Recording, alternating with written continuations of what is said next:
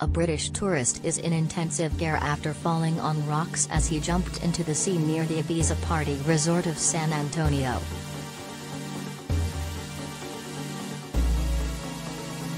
Dot.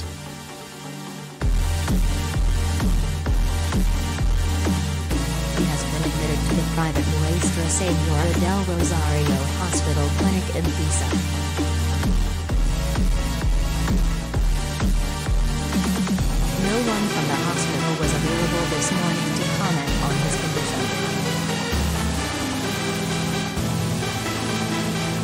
Local reports yesterday when he was stretchered from the scene in a boat had described him as critical.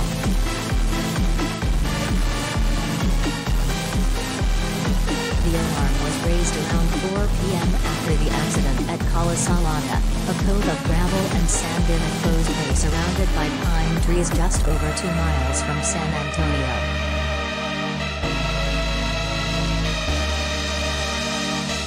The stretch of rocks the tourist is thought to have jumped from lies between Cala Salada and a neighboring cove called Cala Saladeta.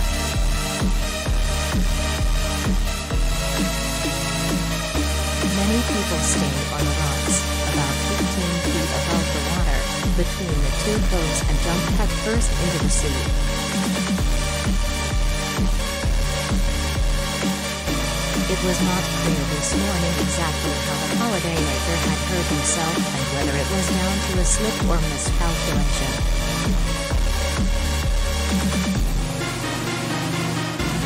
Emergency responders were mobilized with civil guard officers confirmed they had no information on the incident and said local police employed by San Antonio Town Hall may have attended the scene along with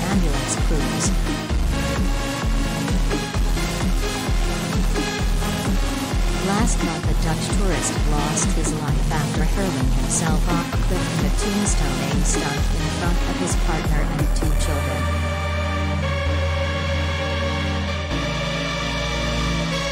He was later named as former footballer Mourad Lamrabat.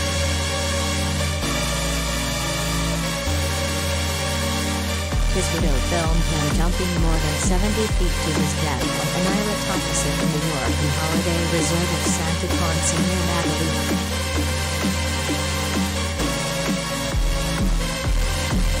The same day a 34-year-old British tourist plunged to his death from the seventh floor of the four-star Melia South Beach Hotel in Magaluf where he was staying.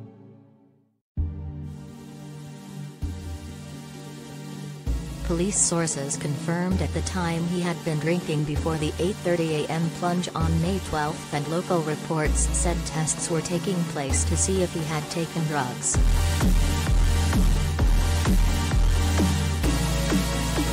Shocked onlookers filmed him pacing up and down at speed on a narrow ledge on the outside of his balcony before falling to his death after appearing to try to clamber down onto the balcony